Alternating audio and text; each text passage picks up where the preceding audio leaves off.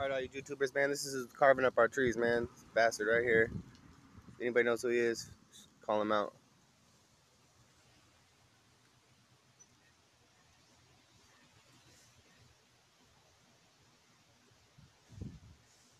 He's literally just decimating the tree right here. I don't know why.